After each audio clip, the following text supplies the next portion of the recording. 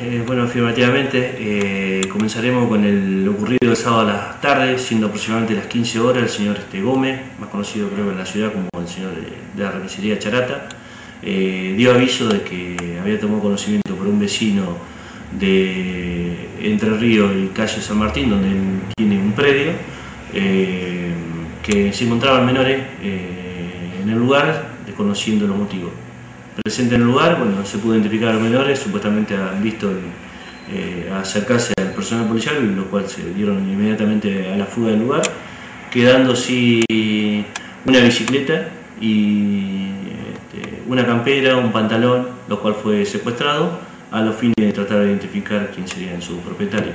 Bien, eh, estos jóvenes que se encontraban en el predio lograron, lograron sustraer algo del mismo. Sí, se contactó este daño en el lugar, eh, sobre vehículos que se encontraban estacionados dentro de este predio. Eh, el propietario hizo mención de la faltante de varias herramientas, eh, no pudiendo precisar este, la cantidad ni detalle de los mismos debido al, gran desorden que contaba dentro del depósito, desconociendo él quién serían por ahí los, autores o los que habrían estado en el lugar. Claro, cuando hablamos de daño en algunos de los vehículos es un colectivo, ¿no? Colectivo e inclusive eh, automóviles que él tiene este, dado de, baja, los cuales habrían roto este, los vidrios de los vehículos, los colectivos le habrían cortado este, cables a los fines de ser luego vendidos como cobre. Eh, y bueno, se procede también el secuestro de una bolsa llena de cables, los cuales ya estaban listos para ser llevados del lugar. Claro. Eh, comisario, este predio del señor de Charata cuenta con alguna medida de seguridad, es un predio que está al descampado. En cierta parte este, tiene un frente donde le falta, tiene, es de acceso, de fácil acceso al lugar. Eh, la preocupación de él, y, o sea, de esta semana, tratar de terminar de cerrar ese lugar y contar con una, con una alarma o un tipo de, de medida de seguridad. Claro este hecho por un lado y también hay que hablar de un robo en un domicilio y el, domicilio vecino, en la misma sí, exactamente. El, el, sábado de la noche, siendo aproximadamente las 3 y media de la mañana, bueno, perdón, más precisamente eh, horas de la mañana del domingo, eh, se recibió un llamado acá en la comisaría donde nos daban aviso un vecino de calle Mitre a 1800 aproximadamente que, que le habría ingresado persona a la vivienda. Ante este este conocimiento se avisó al personal que se encontraba patrullando en la ciudad, se hicieron presentes en el lugar, donde un móvil entrevistó a la supuesta víctima, haciendo mención de que le habían sustraído dos bicicletas de la propiedad y que había observado que en la casa vecina este, el masculino había este, sacado la garrafa. Se hizo un amplio operativo en las inmediaciones dando con este, el autor del hecho a la altura de Calabrini, Ortiz y Calle Córdoba, donde se secuestró una bicicleta y una garrafa.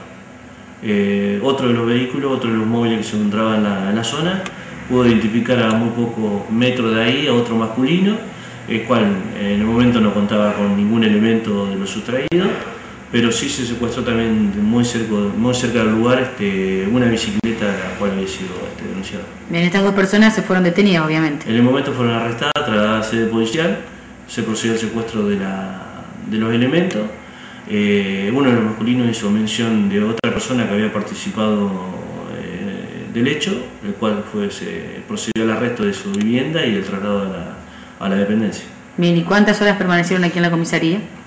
Aproximadamente seis horas, lo que nos llevó este, a realizar alguna diligencia y finalizar con la parte sumarial. Luego se hizo la consulta con el juzgado interviniente, el cual dispuso el estado de libertad. Estos, ¿Estas tres personas son aquí oriundas de San Carlos?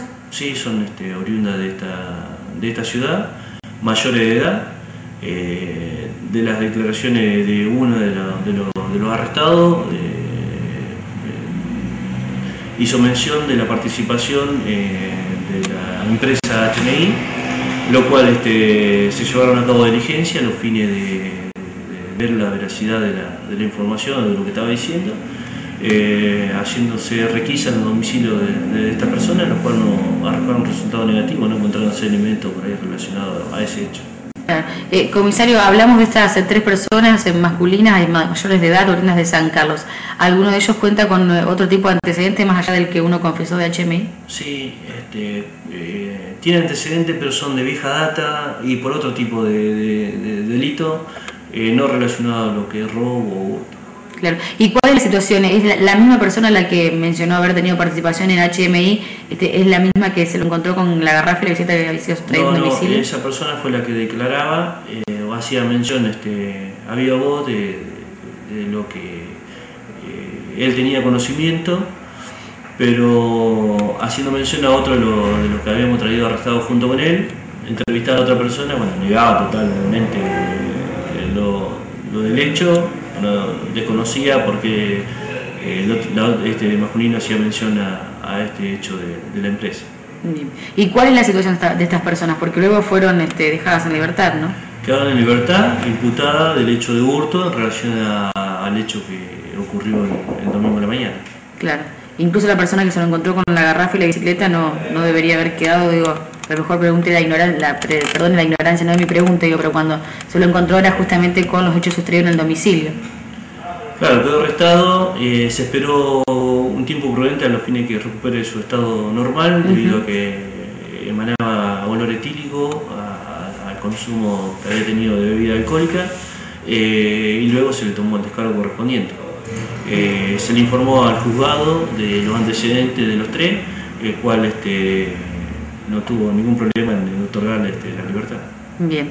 Y comisario, también tuvieron una ardua tarea con él, este, los eh, eventos que hubo el fin de semana, eventos deportivos hablamos, ¿no? Sí, sí, ocurrido en la zona de San Carlos Sur. Eh, eh, llevó a cabo, bueno, contaba con presencia de policía adicional en el lugar.